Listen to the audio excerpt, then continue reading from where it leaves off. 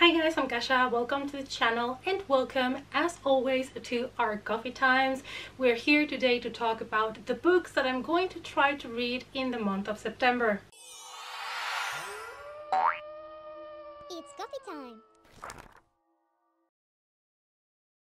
So September is around the corner and I decided that in September I'm going to be doing a reading challenge. It is a really cool reading challenge based on the 70s created by Books of Blood aka John. So some of the books I'm going to be talking here are going to be to fulfill those challenges and then I'm going to add a couple of more into the mix. So John from Books of Blood created this challenge. He posted about it and it's called the 70s Reading Challenge and all of the prompts are inspired by quotes, uh, horror movies, horror books that are based in the 70s. So I thought it was really interesting. I really loved the video. So I'm gonna link it down below for you guys in case you want to rush and join us. But I'm going to try to fulfill all of the prompts. I am going to um, kind of combine a couple just to make my life a little bit easier. But let's first talk about the books I'm going to be reading to fulfill those challenges. The first challenge is to read a book that includes a demonic possession or an exorcism and since I have been meaning for the longest time to finally read The Exorcist by William Peter Blatty, I decided this is the time now. The Exorcist, the original movie, is one that is really important to me because it was one of my first ever horror movies that I watched as a young kid and it always left an impact and I think that movie is just so amazing. If you watch it now it still kind of holds its place and it's still a great horror movie. Now, I don't know if the book is going to be really similar to the movie or not, but I've heard the book is really good and I feel like now the time has come for me to finally read it. Next is to read a horror novel about a real hunting like a true crime story something that actually happened. And I found a book here that I'm going to be listening to in audiobook. It has to do with a true crime serial killer but also it is a rumor that in the place some supernatural forces were also operating at the time. So this is i believe a non-fiction book and I'm gonna read the title for you because it's a little bit long so bear with me. It is The Horrors of Fox Hollow Farm Unraveling the History and Hauntings of a Serial Killer's Home by Richard Estep. So all I know is about this guy that used to kill men. I don't know much about the story. I was not familiar with it, but I do want to either, you know, listen or read to more non-fiction true crime stories.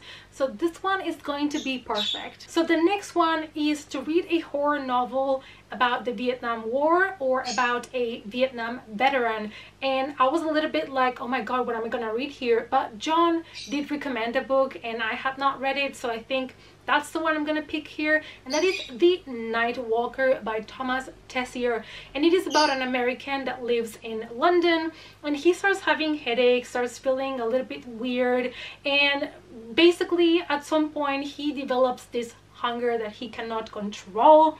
Yes this sounds exactly like an American werewolf in London.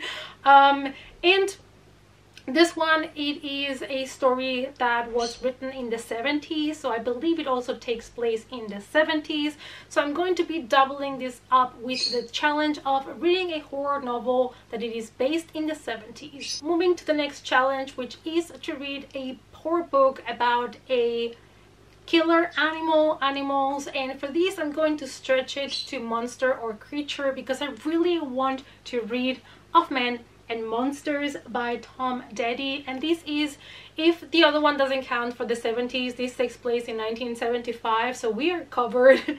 And it's supposed to be a really dark coming of age story and the true meaning of what it is to be a monster. So I'm thinking it's going to play again with um, monster creature and monster human and that is something that I love to explore in books and we follow the story of this kid that moves with his mom to the seaside looking for a new fresh start away from the abusive father and he just wants to have a nice summer but everything is going to be interrupted when there's a monster that appears. And then I'm going to be doubling up again on challenges. I'm going to combine the read a horror novel by an author that had his first published novel in the 70s with read a horror novel that has a 70s cover style for that, I'm going to be reading The Colorado Kid by Stephen King.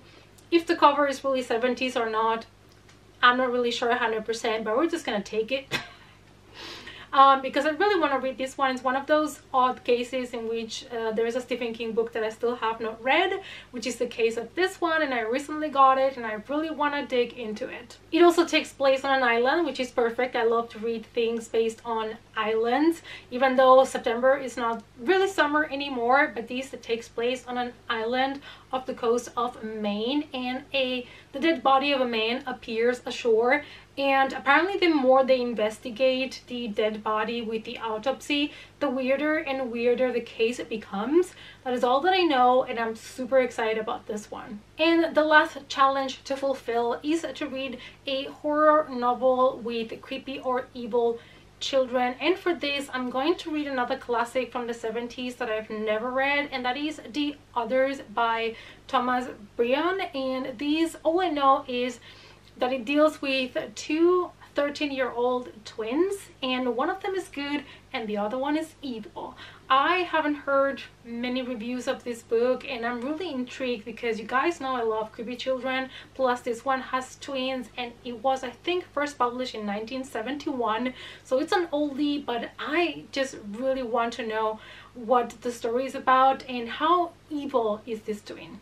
And then I have a couple of arcs that I would like to read. The first one is When Things Get Dark and these are all short horror stories inspired by Shirley Jackson's work and it is edited by Eden Ellen Datlow. And this includes tales by Josh Malerman, Paul Tremblay, and Stephen Graham Jones. So I'm really, really excited for this one. The Liar of Red Valley by Walter Goodwater and this is fantasy horror. It's something I don't read so often so I'm excited to check this one out. It is based on Red Valley, California which is a place where you need to follow the rules if you want to stay alive. That is what our main character Sadie is going to learn and apart from that she's also going to learn that there's many secrets in this small place and also some of the people that live here might not even be human. And if I have time, I would like to get to The House of Dust by Noah Broyles.